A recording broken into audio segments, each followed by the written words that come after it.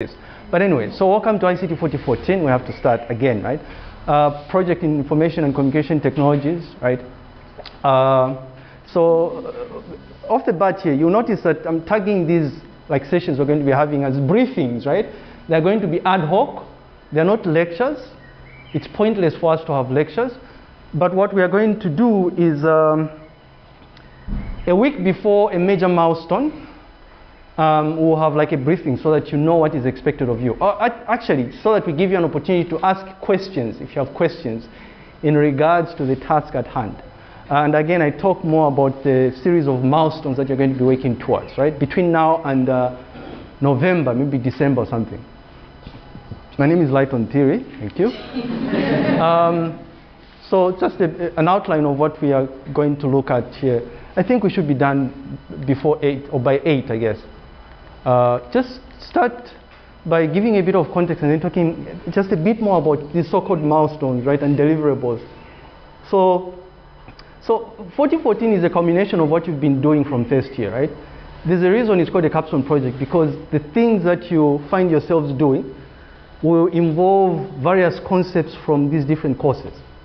For some of you, if, if you end up working with a supervisor that will insist that you work on a computer security centric problem, uh, it's likely that you're going to make use of like uh, concepts, right, introduced to you in computer security or something. Um, those of you that are going to be developing software or something, it's, it's highly likely that uh, you'll make extensive use of 2010 and 3020, right? And, and the reason I'm saying those of you is it's possible that you work with a supervisor that will insist that you you undertake a project that's going to be purely experimental in nature, right? We had maybe one or two, I think one project where there was no development whatsoever. You know, so students were merely interested in just trying to take stock of uh, the state of like computer labs in, in, in schools, right? Uh, public schools or something, public high schools.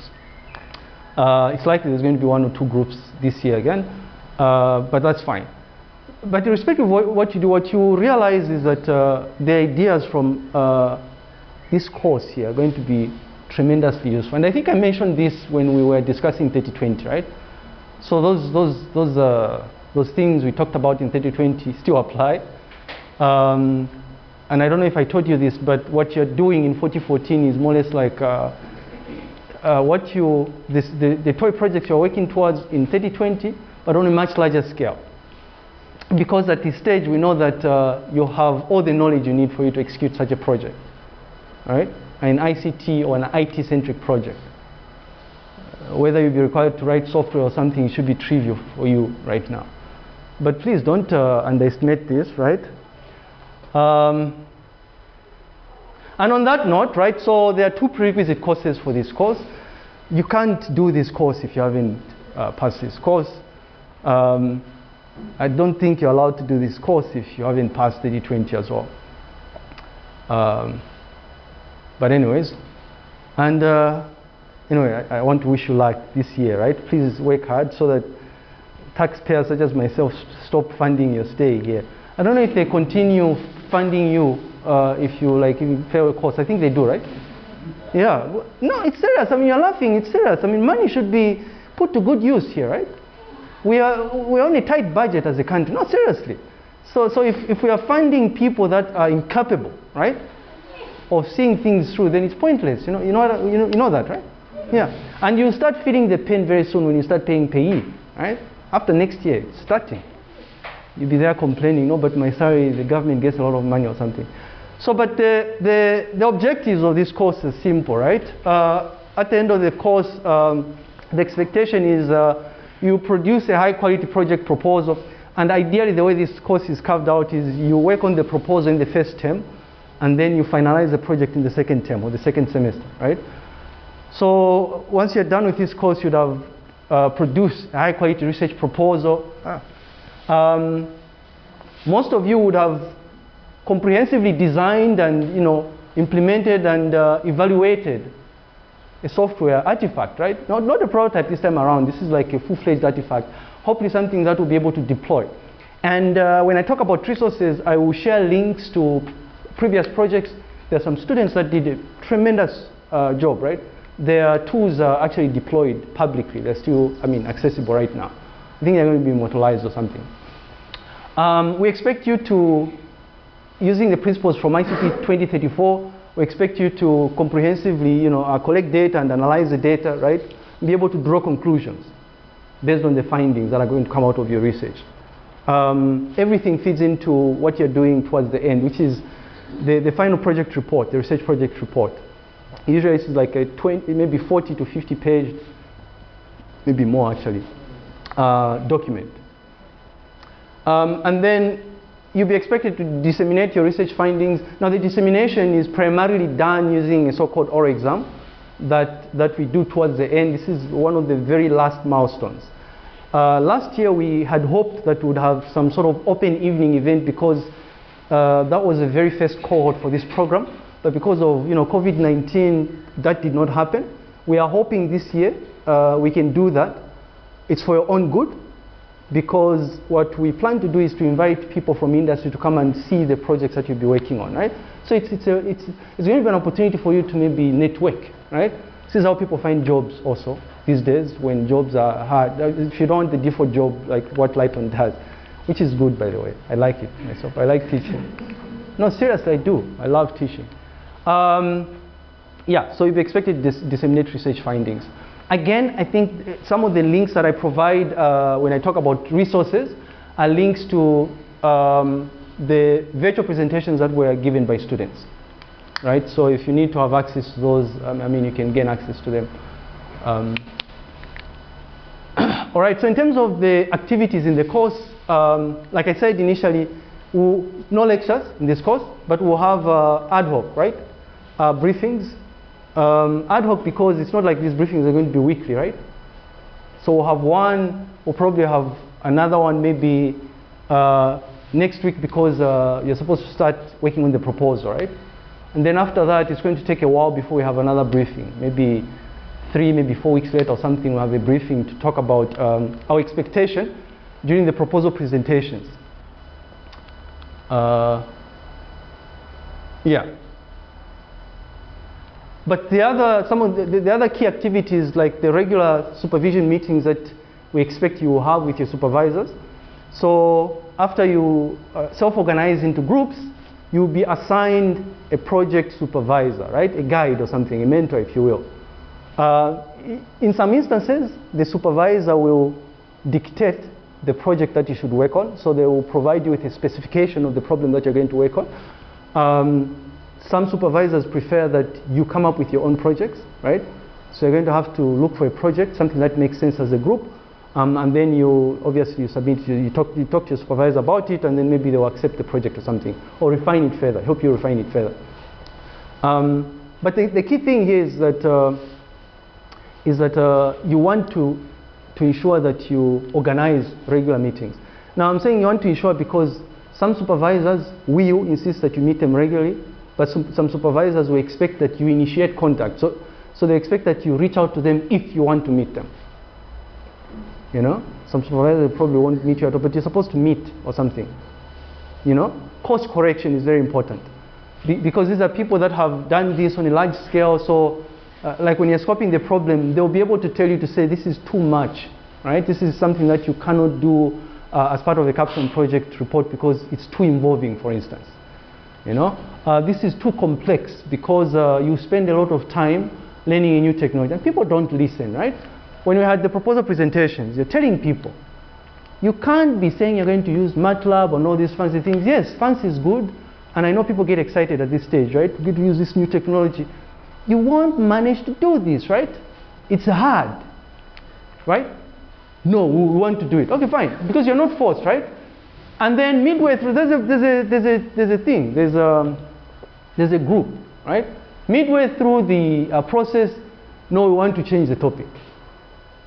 You know, some, sometimes it's important to step back and think about why someone is suggesting you to do something we want you to graduate.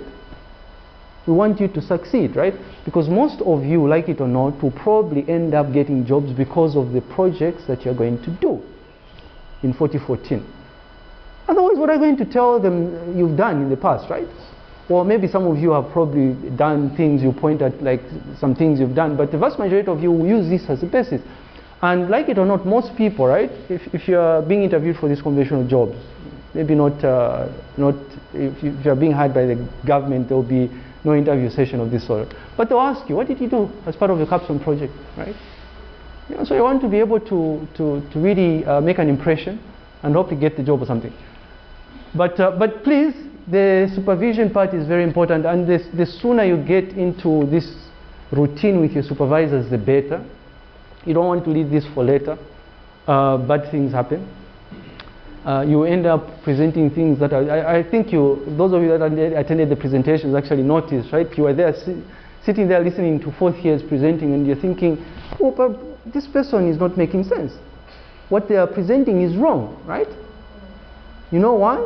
In part because they were not attending meetings with their supervisors. And they won't force you, right? The supervisor won't force you or call you, right? Well, I know I won't. I don't know if the others call though, but the expectation is if you form groups of four, right, people, surely there should be some of them that would be, you know, diligent enough to make sure that uh, the project is on course or something.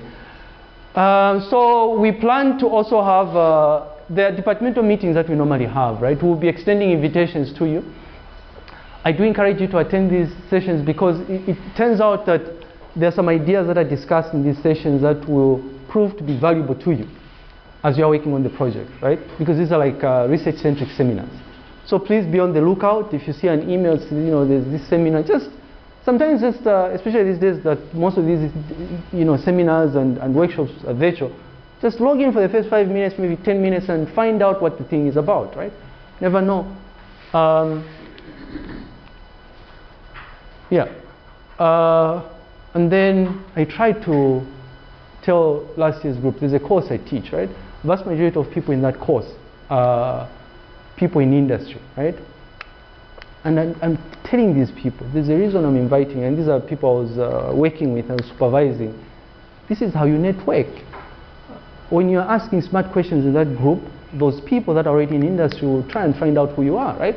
They're usually projects that take place, right? Where is that student, you know?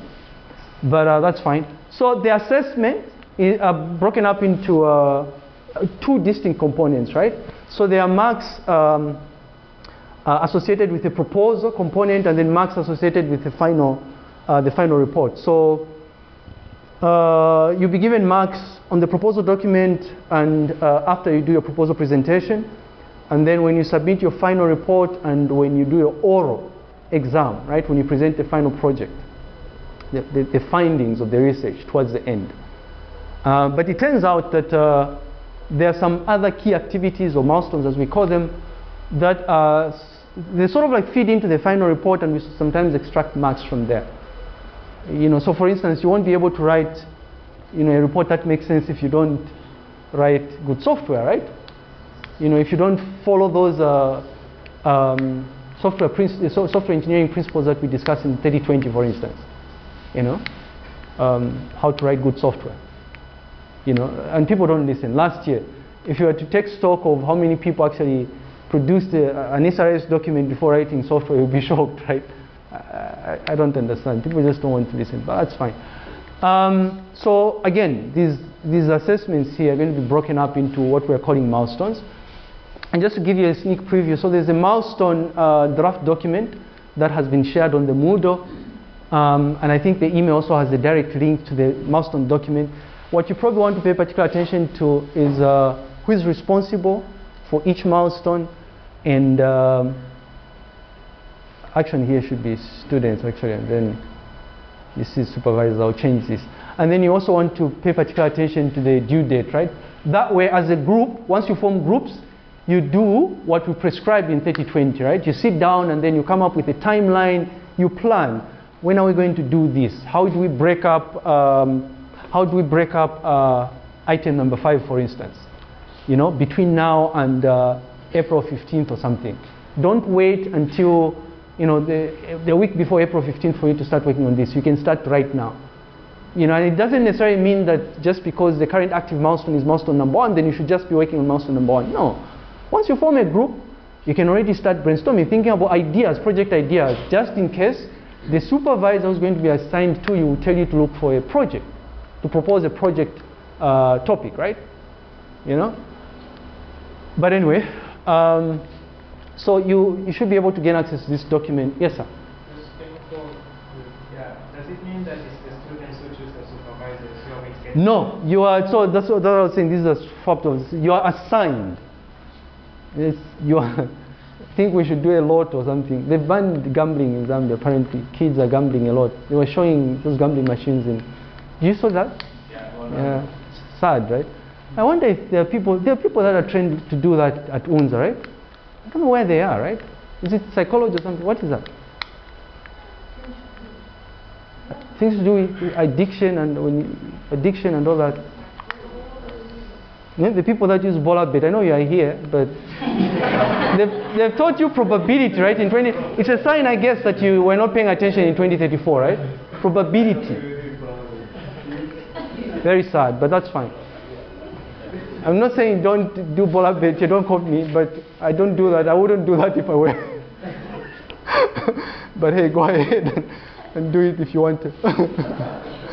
uh, so this document, um, I guess maybe I could, I don't know if I can show you this thing here, but uh, this document is actually, it's live, it's available, you can access it. I do encourage you to look at, look at this as you are forming groups, right?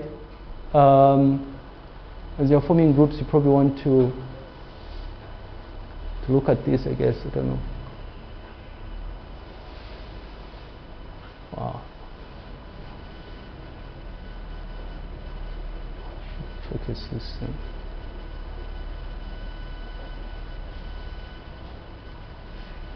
Yeah, so this is the document I was talking about. I, I think it presently has uh, uh, a total of um, what 25 items, right? So there, there are some, uh, and, and, and here's the thing. So there are some things that appear here that won't really be carved out as assignments or assessments, but there are things that are associated with deliverables, right? There are things that are um, supposed to be worked on by the group. There are also individual tasks. Like the, the very first assignment or milestone, for instance, is an individual task, right? You don't need a group for you to select a group because you don't have a group yet. Um, so things like the reflection paper that you submit towards the end is an individual activity also. But yeah, that's okay. All right. Oh, I had it here actually, which is a good thing. Um, so the very first uh, uh, uh, uh, milestone, I, th- I thought I would actually include this here because it's due on Friday. Your task is simple, right? Just go to this spreadsheet. You'll find the link in the email sent to you. And once you form a group, you speak to colleagues. Once you form a group, let's say you choose, uh, as, uh, uh, let's say there's four people that have decided to form a group, you decide on the group number, right? And you decide on the group number by just going to the spreadsheet itself and, um, and uh, adding your computer numbers there, right? So this thing here. So if you decide to say we're going to be group project team one, the number is, I mean, it's just like an identifier for the group, right? You could choose 16 if you want to, no one cares. So, but if you choose one, what you do is you go here and just, just, the only fields that you should feed in is, as an individual, just your computer number. That's all. Nothing else, right? Just your computer number here.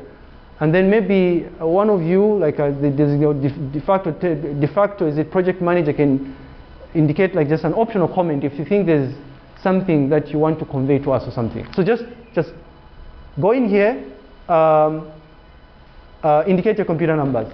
Uh, four individuals per group this time around.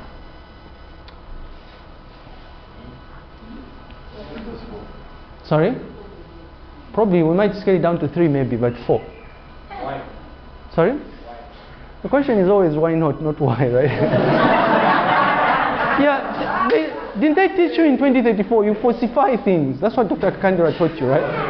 Yeah. But, but, but the reason is simple. I mean, it's uh, five is just too much. I mean, last year working on theory project, you you were five. Then this year saying Yeah, but, but, the- but yeah, but because you are doing things for the first time. You know what project management is all about now? You know how to work as part of the larger team. you know, you should go elsewhere, like engineering and uh, uh, computer science. These people work on these projects on, like as individuals, right? You don't work on them in groups. I don't know where this thing is coming from in this department. I think we should change this. Software as an individual. Sorry? You the one who taught us that in this field, when you're working on projects, it's individual Yeah, but there's so many things at play here, right? There's, there's things that you're, you're doing 4014. You're trying to prove something here that you have learned and that you understand. You don't, in an ideal case, yes, you will not write software as an individual, but you can. but you can. and you know this, you can. we were saying in industry, you never find people writing, like if you are working on a large project, that's what they, I, and I, I hope you were not quoting me on this. You know how people go to an, a recording and just splice out that small part, say, this is what our lecturer told us. No, no, no, no. You're misrepresenting what I said, right? I said, when you're working, when you're out there in industry, you rarely, I think I introduced the Zema project, right? That thing has gone over time, by the way. We've gone beyond the deadline. It's quite sad, but we're almost there. It's a large team, right? We have how many developers? Six developers, two senior developers and four junior developers, right? You know, so that gives you an idea of what I was saying. So when you're working on on th those sort of projects, you don't work alone, right? People play different roles. But yeah, but you can work. But also, this is you're not writing software. This is a research project, and make no mistake, this is a research project. A software is just a means to an end, right? You are going to be exploring a problem, and as part of that exploration process, you need to develop an artifact. You remember what we discussed about how you evaluate an artifact in isolation and with users as well, right? Yeah. You know, so it's, it's not like the goal is for you to write. So which is why I said, I think from the outset, that uh, there are some of you that will likely work on projects that won't involve any sort of development. You know. But uh, anyway. Some of you might, might work on, on, on problems that will just uh, involve extensive data collection and analysis, right? You know? Right, I, I thought I'd spend a, a, bit of time talking about milestone number one. Please, this is due on Friday, make sure you do that. You can do this today, actually. If I were you, I'd do this today. Um, but of course, you know, people never listen, right? um, and then, as part of milestone number two, the coordinator, myself, just truly, uh, in, in, in, in, collaboration with uh, the, the, other colleagues in the department. So Dr. Walia, Mr. Mbewe, Mr. Mwalimu, and Mrs. Mwila um, will assign groups, right? Uh, we'll assign people to groups. Uh, I think we'll randomize it to some, we'll, we'll assign groups to supervise, we'll assign supervisors to groups. Um,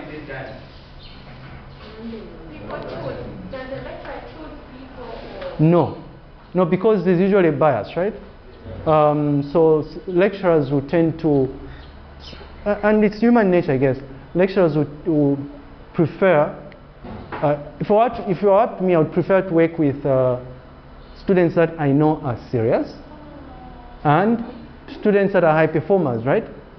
But, in an ideal case, but what we are doing here is it's much more than just, we're not just doing this, right? We are trying to teach you so that you learn how to, some of you people are going to be doing this in your workplaces, right? So the goal is to make sure that you learn and you understand. Of course, some of us have vested interest. Like uh, I've worked with students in the past where we've uh, produced publications from the stuff that they have done, right? That is one of the things that I'm interested in. And it turns out that usually you're able to do that if you work with serious students you know. And serious doesn't mean like somebody who's been getting A's, A's, doesn't work like that. And you see this in real life, right? Uh, uh so serious means maybe someone who is able to persevere or something, you know. Um, but yeah, so this is randomized. We look at uh, we look at the group composition. We look at uh, um, the capability of the students that comprise that group, and then we distribute the uh, teams amongst ourselves um, fairly. And by fairly, uh, I would probably work with uh, a diverse set of groups. It's unfortunate that some, some groups will comprise of maybe uh, individuals that maybe will find it hard to program, for instance, right? For whatever reason. um, which is unfortunate. But, but, but because we have a year, I think it's okay because you will learn, I think. You will learn. But yeah, so this is, um, this is done in a fair manner, fair and transparent manner actually. no, it's true. You, all you have to do is this document actually, I can share it from last year. And if you know the fourth years, just look at the group composition and look at who was supervising them, right? And this is a bit misleading because I think the first two groups did really, really nice work, right? But uh, I, I, I, also worked with students that struggled, and I think part of the reason why they struggled is because in one group, all of them were, were either repeating 30-20 or did not do 30-20, and so were doing it then. You know, uh, and so you had this group which was clueless, right, in regards to 30-20, like what you're supposed to do when you're executing a project like this. But that's fine. So you'll be allocated a supervisor and so this milestone, when the email comes through, you notice that we explicitly insist that you immediately contact or initiate communication with the supervisor. When you assign the supervisor, don't think that the supervisor will contact you. What you should do is you send an email, right? To organize maybe a face-to-face -face meeting. Say, we've been, you've been assigned as our 4014 supervisor, can we have a meeting with you this week or something? The sooner you do that, the better, because that meeting will set the stage for what happens next, right? Is the supervisor going to propose a topic and they're going to make you look for a topic, for instance? You know? Um, and then as, as, part of milestone number three, you, you're expected to, again, in your, in your team, maybe assign roles if you want to. So the rules in 3020 don't apply here. You remember in 3020 where we said we expected you to contribute equally here. If you want as a group, you can identify people that you want to focus on the programming part, on the documentation part, but you know how to, uh, I guess, assign roles, right? So you should be able to do this from 3020. Um, the literature synthesis document is not necessarily going to be graded. It's there to help you explore the problem. Um, and in fact, it sets the stage for milestone number five, which is the research proposal. Because in the research proposal, there's meant to be a, a, a related work section and the thinking is that all you do is you just summarize the literature synthesis document and then just feed it into the, into the research proposal document. Um, and then after that, um, you do your research proposal presentation. This is, are marks allocated to this, this is graded. I'll show you uh, the, the distribution of marks just now. Um, and then at some stage, I think before end of, uh, is it before end of this semester or term, you're expected to revise the proposal document because when it's graded, you receive feedback. When, when you do these uh, uh, oral presentations, you get feedback from all the members of staff. And so you incorporate the feedback and suggested changes into the revised uh, proposal document. Right? And this is important because uh, this will signal whether or not you'll be doing the right thing going forward. Right? Um, as a way of uh, documenting what you're doing or disseminating this information, you'll be expected to set up a so-called project website. Um, if you go to this link here, uh, you, should, you should have access to a sample of uh, Project Team 1, the Project Team 1 website. I think most of the websites actually have, uh, the project websites actually have links to proposal documents, you know, links to uh, presentations that were, were done. For some of them, even links to GitHub repositories. So um, it would be wise for you as a, once you form your groups, maybe just look at uh, one or two projects. If you attended the presentations, I'm sure there's some projects that, that impressed you, right? Go there and just look at the, the deliverables and see if you can learn from them. Um, so if you use this link, you can just replace one with two, three, four, all the way up to 16, and then you have access to all the, I think I talked about this during, uh, the, oh, we're talking about resources. The final reports that were submitted by the students uh, made available on our, on our, document archive, our departmental document archive. So um, just go to lis.unza.zm slash archive and then go to the collection. Um, go to the uh, ICT 4014 collection, right?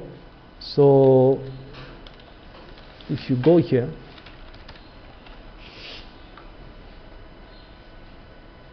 I don't know if I'm connected.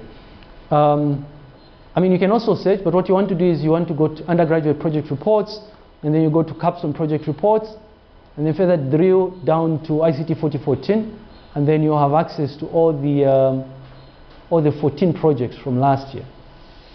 Right? Uh, it would be nice to just skim through some of them, or all of them, Um, you can actually compare things like quality, you know, which document was properly prepared or something. You notice that some of them, uh, I don't know. Is, uh, and it's quite sad because uh, this information is publicly accessible, right? And this is a point I was stressing for those of you that attended the 4014 presentations. I was telling people that, you see, when people access the things you've done, right, and you've written the wrong things, they won't blame the student, right? You'll be long gone by then, hopefully. But what they'll do is they'll look at the department. You know, you're producing substandard work as a department. But we have to put them out there, right? It's a way of showcasing to the world, I guess, what we are doing. Hey, the, by the way, right? Research is research. Uh, this thing also has uh, projects from uh, LIS, I mean, LIS 4014. I do encourage you to look at. There are some projects, actually, there are students that I've worked with in the past that I've worked on problems that uh, I think they brought on like uh, information systems and information technology or something. You know. Um, so you, you might, you, there's, always, there's, some, there's always something to learn, so probably want to look at these reports as well. Also, if you go to the UNZA website, I don't know if those of you that uh, uh are aware about this, if you go to the UNZA website, right, you will notice that um, there are, although UNZA stopped doing this because of quality issues, right, but there are past student reports. If you go to the, this collection here, student project or research reports, right, there are past reports from certain departments that you might want to look at, especially the Department of Computer Science and maybe engineering, right? So you might want to go to maybe natural sciences and then hopefully you'll be able to find like a uh, CS related uh, project and maybe you can you can maybe uh, pick up uh, some, some nice ideas from there, right? So besides, I'm just saying that besides what I've indicated in the slides, there's also the the UNZA Institutional Repository, which has uh, a collection um, called uh, Student Reports or something, project slash reports. Um, another key deliverable, right, this is tagged as uh, milestone 20, is the source code, right? So if you're going to be writing software, you'll be expected to demo the software, to make it publicly accessible, and also to uh, provide us with a direct link to uh, a GitHub repository. In addition to submitting a zipped file with your source code, right, the final version of your source code. And you saw this, those of you that attended those presentations, right? The questions, it wasn't me, it was my other colleagues. Show us the demo, what did you do, right? And people were there coming up with stories. No, right now I'm using my phone. Really? Send us the link, right? You did, the reason you're doing that is because you, you probably you didn't do the work, right? No, you, I think both of you had attended those, and this is serious, right? So that oral exam, those questions that are being asked, right? The oral exam is broken up into different subcomponents. So there are marks allocated to the Q&A session. If you fail to answer questions, if you fail to do something that uh, an examiner requires you to do, then you lose marks, right? You know, there were some people that even missed the oral exam. Where are your colleagues? No, my colleagues have internet issues. Really? This is an exam, right? But that's okay. All right. Uh, just quickly about grading. Uh, the split is as follows. It's a 40-60 split. So the first, and some people prefer to view this as like 40% being CA, like the proposal is CA, and then the 60% is the final exam. But I like to think as every, everything is being an exam, right? And this is something that you should get used to because there are usually some people that would tend to sacrifice this. No, I'm, I'm studying for this other course. That's why I haven't been, that's why we haven't, we're studying for this other exam. That's why we haven't been working on the project. Do you not understand that what you're doing is part of the exam, right? You're being examined in this course as well, you know? So there, there needs to be a shift in mindset, really, uh, to, to, be honest. So, um, this 40% for the research proposal is distributed as follows the 30-10 split here. So 30% is allocated to the uh, proposal document and then 10% uh, to the proposal presentation. Uh, hi, how are you? Yeah. Masks maybe, right? Uh, it's not a familiar face. Sorry? Sorry? Yeah, I don't, I don't think there's a class. Oh, you can join us if you want to. Maybe it's lost. It might be lost. It's not, there's always something to learn. I used to attend classes myself when I was a student. I'll just randomly go to some lecture. True story. Yes, you learn like this, right? I go to vet sometimes to go and listen to what people do there. This is how you learn. So especially when you work, when you work in a discipline that um, transcends these different domains, right? If, if you're doing an IT course, a, a CS course, you will find yourself working with people from different backgrounds. I know people want to go here, but we almost, but you can go in with just a grading here. So there's a 30-10 split for the research proposal, and then a 50-10 split for the final report. So 50% is for the report, 10% is for the oral exam. Um, again, all of these milestones, like the assignments that are going to be uh, um, sent your way via the Moodle, they will have explicit instructions, uh, including a breakdown of the marks. So for the proposal, or for instance, right, if you look at this, this is an example from the proposal, it will show you to say the proposal, this 30%, I mean, technically speaks out of 100, right? So we're saying 70% goes to quality, and then 20% project management, and then 10% goes to style and formatting. And then we further break down the same thing we're doing in 3020. So it's not like we just mark the, the 30% just by reading the document. We look at all these different aspects of the document, right? The same goes for the presentation. We look at your response to, uh, to questions that are being asked of you, uh, whether the presentation is comprehensive enough, if it includes all the key aspects of the proposal itself, right? Summarized. Um, I think this hasn't changed. So the range associated with the different grades still hold. Uh, I think it's sad that UNZA still uses, or at least our school still uses 45 as a pass threshold, right? Have you not come across these other um, courses you find online where the, the pass mark is like 70 or something? Yeah. Yeah. You get below that, it's a fail. Well, it's a D, D plus or something. But that's fine. I, I thought I would include this just to remind you um, the things that I think are relevant when you're undertaking a research project that is more inclined towards uh, information technology or computing, um, you probably want to look at these resources. Um, of course, you can use this uh, together with what was conveyed to you by Dr. Kandel in 2034, right? So you want to go back and look at what, what the prescribed books were there. You still find them useful. Uh, and most of these actually, if you've noticed, are actually picked from 3020. Um, for project management, my advice to you, use tools that people are familiar with, maybe tools that were used in 3020, right? Especially if you form the same group from 3020, for instance. Um, in terms of software development frameworks, uh, this is one of the reasons why you're assigned a supervisor. Your supervisor might suggest that you use a particular framework or language. Um, keep an open mind. Uh, sometimes it, uh, uh, it may become, it might actually become necessary for you to learn a completely different language as a group. Something that's easier, something that has uh, a lot of reusable components, for instance. Right? But, but you're lucky because, uh, I mean, there's PHP, there's, sorry?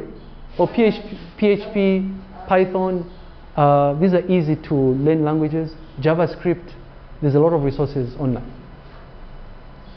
But, but again, you want to sit down as a group, and uh, it also depend on the on the um, the problem.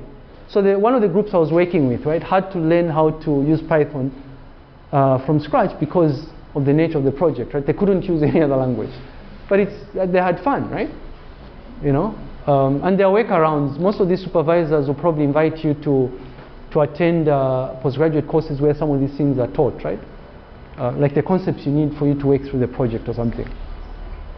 All resources, everything is going to take place via the Moodle, but communication will be done via the mailing list.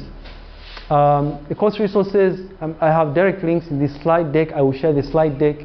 Um, there's a departmental uh, document archive which has uh, past capstone project reports for all the programs in the department. You want to spend time here, you can search for keywords, maybe just search ICT or something um, you'll be surprised.